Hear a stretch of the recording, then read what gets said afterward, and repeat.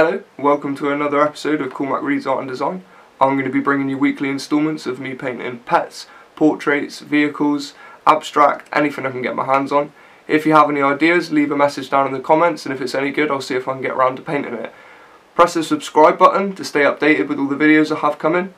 This week I'm going to be painting an ice cube painting in a gradient of pink.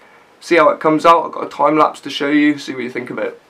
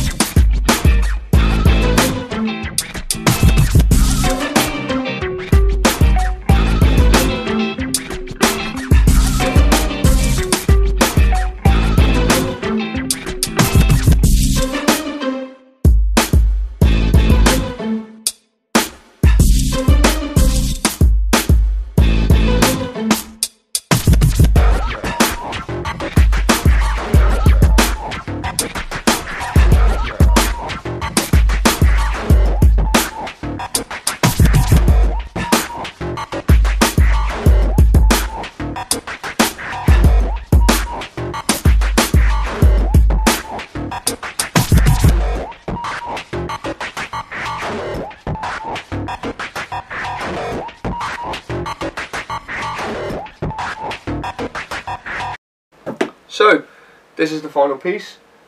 Let us know what you think in the comments and don't forget to subscribe to the channel. Thank you for watching.